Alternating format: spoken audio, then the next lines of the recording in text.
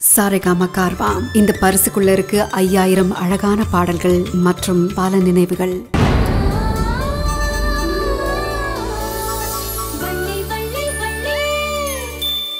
இந்திரசேனா இப்ப வந்திருக்கிறாளே ஒருத்தி ஒரு ராட்சசி. அவ சாதாரணமான பொம்பளை கிடையாதுமா அவ சும்மா இருக்க மாட்டா சும்மா விட மாட்டா. Indrasena I have a feeling மாசமா இருக்காளே தாரா அவளை ஏதாவது பண்ணிடுவாளோன்னு எனக்கு என்னமோ மனசுல ஒரு ஃபீலிங் இருக்குமா? என்ன சொல்றீங்க? என்ன பண்ணுவா அவ? ஆ? அவளால என்னத்தை கிழிக்க முடியும்? அவ என்ன சிங்கமா? அப்படியே கடிச்சு சாப்பிட்டுருவாளாமா? இங்க பாருங்க ஜட்ஜம்மா. அந்த கல்யாணம் நடக்காது. அந்த தெய்வம் இல்ல. கோயிலே நகர்ந்து வந்தாலும் இந்த கல்யாணம் நடக்காது. அவ ஆளுங்க மட்டும் யாராவது வந்தா பீஸ் பீஸ் ஆக்கிடுவேன். நீங்க கவலைப்படாதீங்க. அவ ஒண்ணு அந்த அளவுக்கு ஒர்த்தான ஆளும் இல்ல. நான் அவ்வளோ வெத்தான ஆளும் இல்ல. இத பாருமா இந்திரசேனா என் பொண்ணு போனதுக்கு அப்புறம் அந்த டைரி என்னால் எழுத முடியலமா பாரு என் பொண்ணு என் பேத்தின்னு எல்லாரையும் நான் பலி கொடுத்துட்டேம்மா. ஐ cannot லூஸ் யூ இப்போ ஒன்னு என்னால இழக்க முடியாது. இந்த பாரிந்திர சேனா அந்த மகிமாவை அமிச்சிருமா? நோ நோ நோ மறுபடியும் இந்த மாதிரி தப்பான முடிவை எடுக்காதீங்க. இந்த முறை அவ பலி கொடுப்பா. நான் பழி தீப்பேன் அந்த தெய்வ நாயகி இனிமே பார்க்காததெல்லாம் பாப்பா. அதுக்கப்புறம் அவளையே யாரும் பார்க்க முடியாத இடத்துக்கு நான் அனுப்பிடுவேன். எஸ் இத நான் சொல்றேன். இந்த சேனா சொல்றா. This is my challenge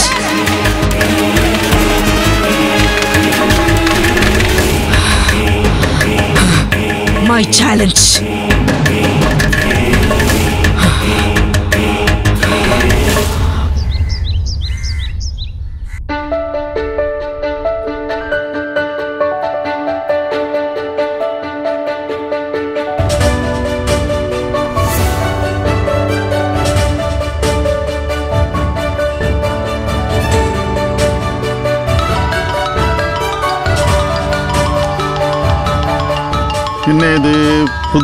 புது நம்பரா இருக்கு? யாருன்னு தெரியலையே. ஹலோ? ஹலோ மாமா. நான் வெண்ணிலா பேசுறேனுங்க. வேற மாதிரியா இருக்கு குரல்? வெண்ணிலான்னு சொல்றீங்க? ஐயோ மாமா. ஆக்டிங் பண்ணும்போது குரலை மாத்தி பேசி பேசி அப்படியே குரலே மாறி போச்சு. இப்ப பேசுங்க மாமா. வெண்ணிலா எப்படி இருக்க? வீட்டில் போய் செட்டில் ஆயிட்டியா? எல்லாரும் நல்லா தானே இருக்காங்க யாரும் உன்னை சந்தேகப்படல மாமா ஆமா. ஸ்பீக்கர்ல போடுங்க மாமா. அக்கா நான் இந்த வீட்டுக்கு வந்துட்டேன்.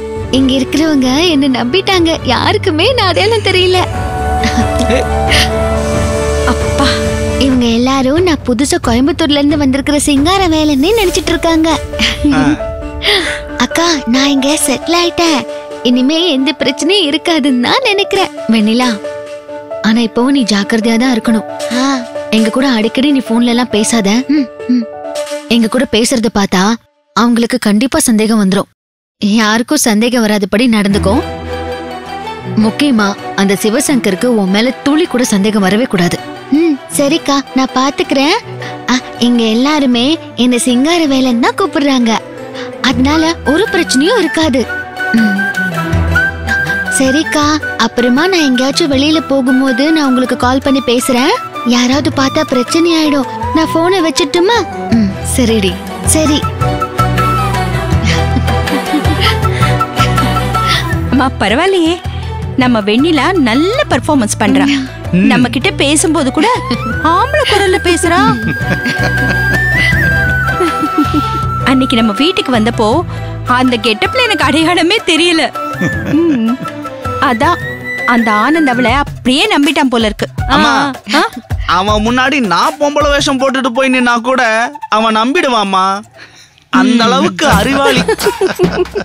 அவன்லாம் ஒரு ஆளுன்னு போய் பேசிக்கிட்டு இருக்கீங்க. பூனை எது புலி எதுன்னு கூட அவனுக்கு வித்தியாசம் தெரியாது. ஏன்? கரெக்டா தானே சொல்றேன் அப்புறம் அடிக்க இருங்க. சொந்த வீட்லயே வேஷம் போட்டுட்டு போய் குழந்தைய பார்க்க வேண்டிய நிலைமை. பாவம் இல்லப்பா வெண்ணிலா. வேற வழி இல்லையா அண்ணி? அவ தானே குழந்தைய பார்க்கணும்னு அடம்பிடிச்சா அதனாலதான் நான் இந்த கெட்டப்ப போட்டு அனுப்பி விட்டுருக்கேன்.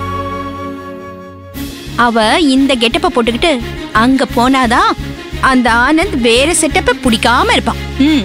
இல்லைனா அந்த சிவசங்கரன் அவனுக்கு இன்னொரு கல்யாணம் பண்ணி வச்சாலும் வச்சிருவான். இருக்கிற நிலைமையில அவ அந்த வீட்ல இருக்கிறது தான் சேஃப்டி அந்த வீட்ல என்ன நடக்குதுன்னு நம்மள யாரையும் பார்க்க விட மாட்டாங்க. அவ அங்கேயே இருக்கிறதுனால அங்க அவ என்ன பண்ணலாம் ஏது பண்ணலாம்னு ஒரு ஐடியா கிடைக்கும். நீங்க சொல்றதும் ஒரு வகையில கரெக்ட் தாம்மா. ஆமா இந்த சிங்கார சிங்காரவேலன்கிற பேரு செம்மையா இருக்கு. யார் வச்சது வள்ளி? எல்லாம் இதோ விக்கியோட ஐடியா தான். சிங்கார வேலைன்னு இவருக்கு ஒரு பழைய ஃப்ரெண்ட் இருந்தாராம். வெண்ணிலாவுக்கு என்ன பேர் வைக்கலாம்னு யோசிச்சுட்டு இருக்கும்போது இந்த பேரு ரொம்ப நல்லா இருக்கு இதே பேரை வச்சிடலான்னு சொன்னாரு. சரி ஓகேன்னு சொல்லி அப்படியே வச்சாச்சு.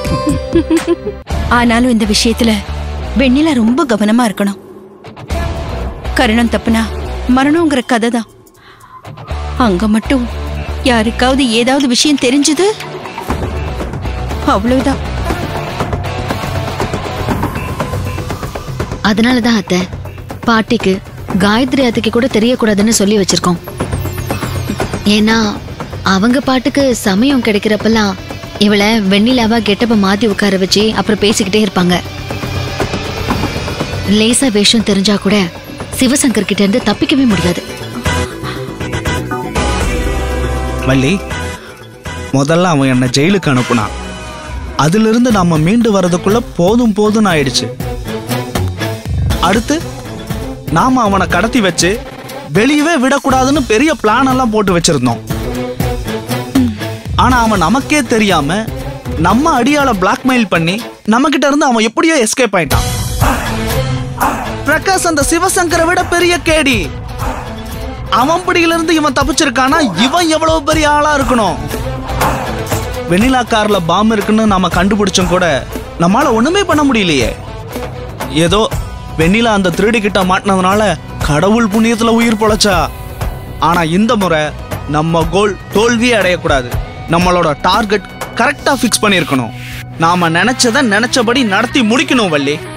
ஆமா விக்கி வெண்ணிலா அங்க செட்டில் ஆயிட்டான்னு நம்ம அக்கடான்னு உட்காந்துடக்கூடாது அவளோட ஒவ்வொரு நடவடிக்கையும் நம்ம வாட்ச் பண்ணிட்டே இருக்கணும்.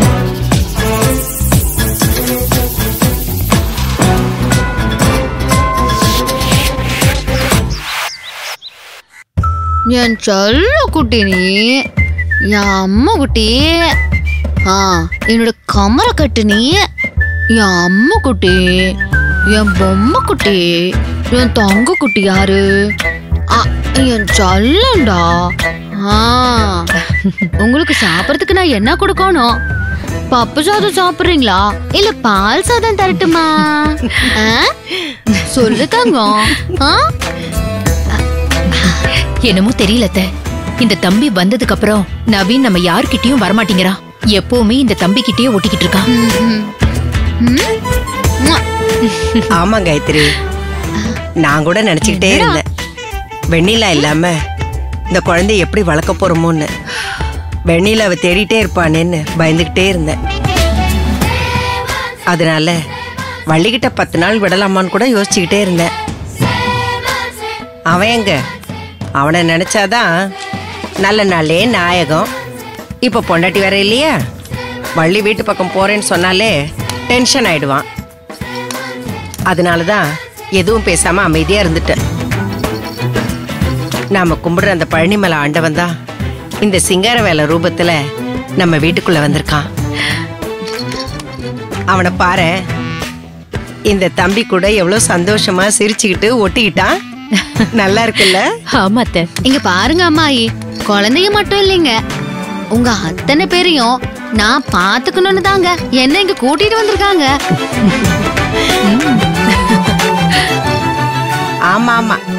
அதான் ஆனந்த் சொன்னானே நீ வேற என்னமோ பிரமாதமா சமைப்பேன் அந்த சமையல் இந்த சமையல் என்னென்னமோ சமையல்லாம் சொன்னியே. அதெல்லாம் கேட்டுட்டு ஒரு சமையலை சாப்பிடணும்னு ரொம்ப ஆசை வந்துருச்சு. காயத்ரி தான் எப்போ சமையல் பண்ணுவா? நல்ல சமையல் பண்ணுவா. ஆனா என்ன ஒரே மாதிரி இருக்கும். அத்தை நீ நல்லதா சமைப்ப. ஆனா நீ உன் கைப்போக்கம் கொஞ்சம் வேற மாதிரியா இருக்கும்ல. நீ கொஞ்சம் சமைச்சு கூட. நாங்கெல்லாம் சாப்பிடுறோம். ஆ, அவ்வளவுதானே? இந்தா. இந்த வரேன்.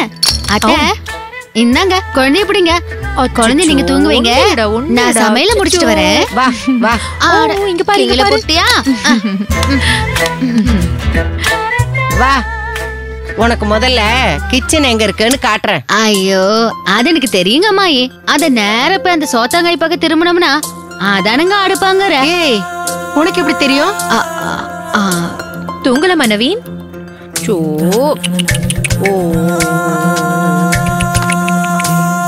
அட என்ன அம்மாயி? அடுப்பங்கர எங்க இருக்குன்னு தெரியாதா? எப்பவுமே வாஸ்துப்படி. அது வீட்டு வாசல்ல இருந்து அந்த சோத்தங்காய் பக்கமா தானே இருக்கும். எல்லாம் ஒரு கணிப்புல தானுங்க சொன்னது. என்ன அம்மாயி? வீட்டை வாஸ்துப்படி தானே கட்டியிருப்பிய? ஏய் உனக்கு வாஸ்து எல்லாம் கூட தெரியுமா? எல்லாம் எனக்கு தெரியுங்க அம்மாயி. வாஸ்து ஜோசியம் நேரம் கிளம்பிங்க. இதெல்லாம் நமக்கு அத்துப்படிங்க. சரி சரி. வா. ஏய் சிங்கரவேலா. எது எது எங்கெங்க இருக்குன்னு சொல்றேன். அதுக்கப்புறம் நீ சமைக்க ஆரம்பிக்கலாம்.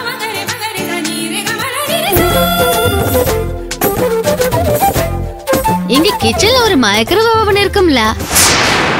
அது எங்க காணோம்? ஏய் உனக்கு எப்படி தெரியும்? அது இவ்ளோ பெரிய அடுப்பங்கரையில அது ஒண்ணு இருக்காதுங்களா? ரொம்ப திறமைக்காரனா தான் இருக்க. அதனாலதான் ஆனந்து கரெக்டா பார்த்து ஆலாக்கா உன்னை வீட்டுக்கு கூட்டிட்டு வந்துட்டான். இத பாரு எல்லா சாமானும் அடுக்கி வச்சிருக்கேன். ஒண்ணு விடாம எல்லாத்துலயும் பேர் எழுதி வச்சிருக்கேன். எல்லாம் இருக்கு எடுத்து நீ சமைக்கணும் அவ்வளவுதான். அம்மாயி நீங்க எதுவுமே சொல்ல வேணாங்க. நீங்க நிம்மதியா போங்க. நம்ம வேலைய நல்லா சமைக்கிறது தாங்க நம்ம சமையல சாப்பிட்டுட்டு எத்தனை பேரு பிரமாதம்னு எவ்வளவு பெருமையா பேசிருக்காங்க தெரியுங்களா? சும்மாலாம் இல்லைங்க. வெளிநாட்டுக்காரங்களுக்கு கூட நான் அவ்வளவு நல்லா சமைச்சு போட்டிருக்கேன். அவங்க சாப்பிட்டு முடிச்சிட்டு எப்படி எல்லாம் பாராட்டுவாங்கன்னு தெரியுமா? நம்ம கோயம்புத்தூர்ல அங்க ஒரு பெரிய இடம் இருக்காமாயி அங்க பெரிய பெரிய மீட்டிங் எல்லாம் நடக்குங்க. அந்த மீட்டிங்க்கு வரவங்களுக்கெல்லாம் நாங்க தாங்க சமைச்சு போடுவோம். வீட்டு சமையல் மாதிரியே இருக்கான்னு அப்படியே ரசிச்சு ருசிச்சு சாப்பிட்டு போடுவாங்க. அதுலயும் அந்த மீன் வறுவல் இருக்குல்ல. அது அப்படியே ஜம்மன் இருக்குன்னு சொல்லுவாங்க. அம்மாயி அது மட்டும் இல்லைங்க. நம்ம சமையல்ல இந்தா இந்த ரெடிமேட் சமையல் பொடியெல்லாம் ஆகாதுங்க. பின்ன? அதாவது எல்லாமே அம்மில அரைக்கிறது தாங்க அம்மில அரைச்சுதானா? இந்த காலேஜ் பசங்க இருக்கு இல்லைங்களா? அதுங்களுக்கு அம்மில அரைக்கிறதுல என்னன்னே தெரியாது. ம். அம்மிக்கல்லையும் ஆட்டுக்கல்லையும் அரைச்சா உடம்பு எங்க திருவக்கல்லு மாதிரி ஆக போகுது. ஏய். நல்ல ஓடி ஆடி வேலை செய்யணுங்க ஆ? ஆ? அப்படியா? அ, ஐயோ அத்தை. நான் உங்களை சொல்லலைங்க. சாதாரணமா சொன்னீங்க. கோயம்புத்தூர் குசும்பு நல்லாவே இருக்கு உனக்கு. அம்மாயி நீங்க போய் சாலியா உட்காருங்க. அத்தை நீங்களும் போலாம். நான் நல்லா சமைச்சு எடுத்துட்டு வரேனுங்க. இந்த வேலை வந்துட்டல்ல. உங்க யாருக்கும் வேலையே இருக்காதுங்க? நிம்மதியா போங்க. வாங்கத்த. இவன் கோயம்புத்தூர் கைமணம் எப்படிதான் இருக்குன்னு பாத்துடலாமே எல்லாமே எல்லாத்தையும் அம்மிலே அரைப்பானோ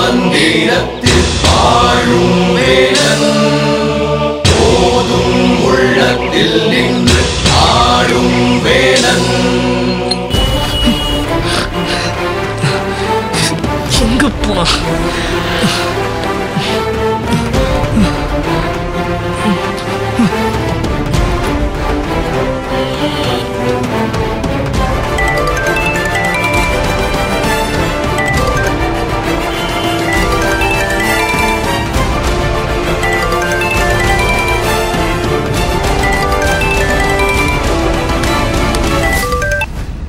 சொல்லுங்க திலீப். ஆண்டி ரொம்ப பதட்டமா இருக்கு ஆண்டி. என்னாச்சு? என்ன விஷயம்? தாராவை இப்போ வரைக்கும் காணும் ஆண்டி. ஏடிஎம்ல போய் பணம் விட்ரா பண்ணிட்டு வரேன்னு சொன்னா கிட்டத்தட்ட ஒன் ஹவர் ஆக போகுது ஆண்டி. அவ இன்னும் வரல ஆண்டி. Aunty please aunty. எதா பண்ணுங்க எதா பண்ணுங்க ப்ளீஸ் எனக்கு பயமா இருக்கு ஆண்டி. என்ன சொல்றீங்க திலீப்? ஆண்டி ஒன் ஹவர் ஆச்சு ஆண்டி. அவளை இன்னும் காணோம். நான் உள்ளெல்லாம் போய் தேடி பார்த்தேன். இல்ல ஃபுல்லா தேடி பார்த்தேன். அவ இல்ல. என்ன பேசுறீங்க நீங்க? ஆண்டி ஏதோ ப்ராப்ளம் நினைக்கிறேன் ஆண்டி. ப்ளீஸ் ஏதாவது பண்ணுங்க ப்ளீஸ் சரி நீங்க போனை வைங்க. நான் பாத்துக்கிறேன். முதல்ல நீங்க கிளம்பி இங்க வாங்க. Okay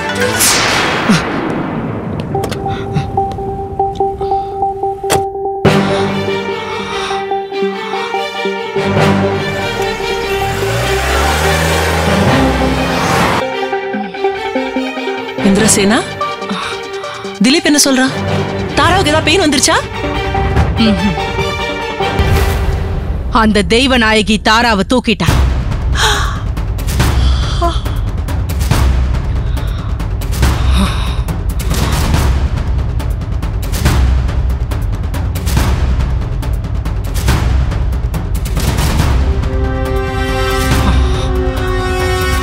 Oh my god.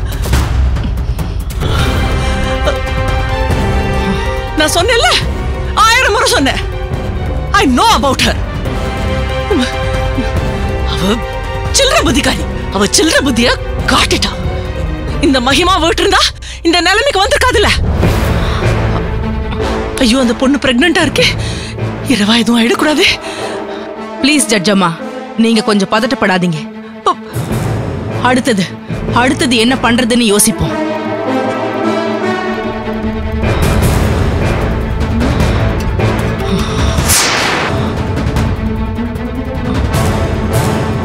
இந்த கல்யாணம் நடக்கலன்னா யாருமே உயிரோட இருக்க மாட்டீங்க.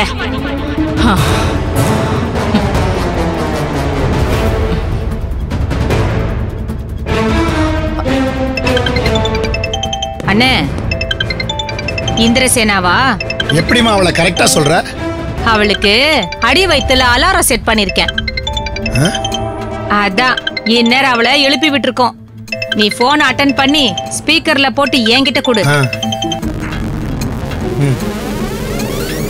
ஏய் நான் இந்திரசேனா பேசுறேன்டி. தெய்வ நாயகி தான் கேட்டுட்டு இருக்கேன் சொல்லுடி. எங்கடி தாரா? என் மகிமாவை எங்கடி வச்சிருக்க? ஏய் முதல்ல தாரா எங்க இருக்கா? சொல்லுடி. ஏய் தெய்வம். தெய்வத்துக்கிட்ட கெஞ்சி கும்பிட்டு கேட்கணும் மீறி பேசின தெய்வம் வரம் கொடுக்காதடி. இத பாரு மகிமாவை என் பையன் லவ் பண்றான். அவங்களுக்கு நான் கல்யாணம் வச்சிருக்கேன். ஒழுங்கு மரியாதையா என் மருமகளை என் வீட்டுக்கு கொண்டு வந்து விட்டுட்டு போயிடு. ஏய் இங்க பாரு. ஏய் நீ பேசுறத கேக்குறதுக்கெல்லாம் இங்க நேரம் இல்ல. என் பொருள் வந்து சேர்ந்தா உன் பொருள் பத்திரமா டெலிவரி ஆயிடும். இல்லனா அத பார்சல் பண்ணும்போது பீஸ் பீஸ் ஆயிடுச்சுன்னு வச்சுக்கயேன். நான் பொறுப்பில்ல. மறுபடியும் சொல்றேன் இது தெய்வ வாக்கு. பழிக்கும். It. சொன்னேன் பாத்தியா? அவ ராட்சசிமா அவ ராட்சசி. இந்த பாரு நீ நீ ஏதாவது ஒண்ணு குயிக்கா பிளான் பண்ணு. நம்ம தாரா கடிச்சே ஆகணும்.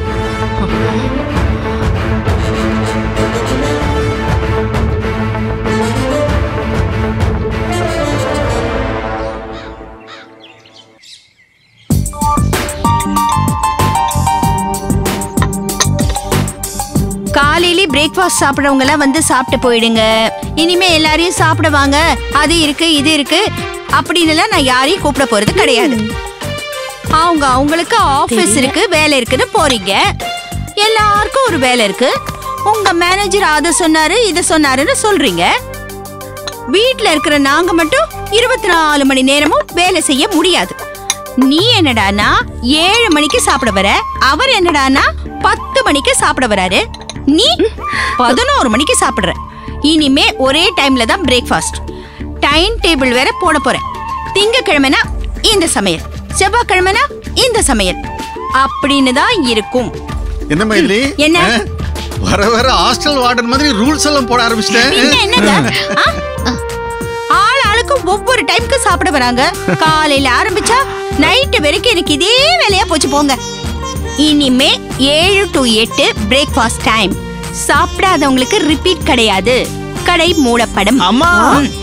அம்மா வர வர நீங்க ரொம்ப ஸ்ட்ரிக்ட் ஆயிட்டே போயிட்டு இருக்கீங்க இது எல்லாத்துக்கும் காரணம் இந்த வள்ளியும் விக்கியும் கொடுக்கற இடம் தான் நீ உன் சம்பள பணத்தை ஃபுல்லா கொண்டு வந்து அம்மா கிட்ட கொடுக்கறல்ல?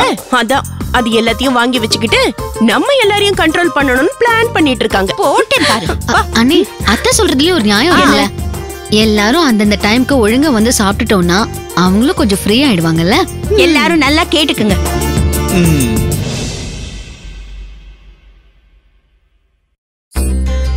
நீங்க எங்க கிளம்பிட்டீங்க மாமா? அப்பா இப்பெல்லாம் வாரம் வாரம் வெள்ளிக்கிழமையானா கர்ப்ப ரட்சாம்பிகை கோயிலுக்கு போறாரு. சனிக்கிழமையானா பெருமாள் கோயிலுக்கு போயிடுறாரு. வியாழக்கிழமையானா தட்சிணாமூர்த்திய பார்க்க போயிடுறாரு. என்ன விசேஷம்னே புரிய மாட்டேங்குது. வீட்ல இருக்கிற நம்மளெல்லாம் விட அப்பாக்கு தான் பக்தியும் பூஜையும் அதிகமாயிடுச்சு. அட, என்னம்மா நீ? கோயிலுக்கு எதுக்கு போவாங்க? சாமி கும்பிட தானே நம்ம வீட்ல சரோஜா தேவி பிறக்கணும்னு நான் அன்னைக்கே சொன்னேனே. வள்ளி வயத்துல என் சரோஜா தேவி பிறக்கணும். அப்பதான் எனக்கு சந்தோஷம். இன்னும் அந்த சரோஜா தேவி உங்க மனசை விட்டு போகலையா? அது என்ன சரோஜா தேவி மேட்ரு? எனக்கு தெரியாதே. அது ஒண்ணு இல்ல விக்கி. வள்ளி வயித்துல பிறக்க போற குழந்தைக்கு சரோஜா தேவிங்கிற பேர் தான் வைக்கணும்னு அப்பாவோட ஆசை. அன்னைக்கு இத பத்தி ஒரு பெரிய ஆர்குமெண்டே போச்சு. நீ தான் அப்ப இல்ல. எல்லாரும் கெட்ரினா கைஃப் பிரியங்கா சோப்ரா அப்படி இப்படி அது இதுன்னு புதுசு புதுசா பேர் வைக்கணும்னு ஆசைப்படுவாங்க. ஆனா நீங்க மட்டும் ஏன்பா பழைய பேரை யோசிக்கிறீங்கன்னு கேட்டேன். அதுக்கு அப்பா என்ன தெரியுமா சொன்னாரு? சரோஜா தேவிங்கிறது அப்பாவோட அம்மா பேராம். அதாவது நம்ம பாட்டி பேரு. அதனால பிறக்க போற குழந்தைக்கு சரோஜா தேவின்னு தான் பேரு வைக்கணுமா?